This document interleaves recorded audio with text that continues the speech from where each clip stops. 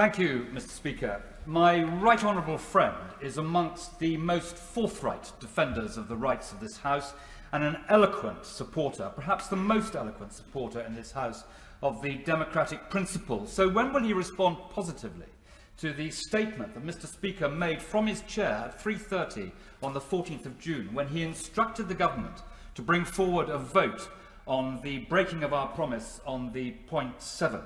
Uh, he knows uh, perfectly well that the estimates are not the right route for this. The estimates have never been voted down. And in that connection, may I refer him to a speech made from that dispatch box on the 24th of July 1905 by the late Prime Minister Arthur Balfour, which set out the position on estimates uh, very clearly. In his forthright defence of this House, will he ensure that before the summer there is a vote on this terrible decision that was made by the government, which has done such damage to our international reputation and which is leading to the avoidable death of more than 100,000 people.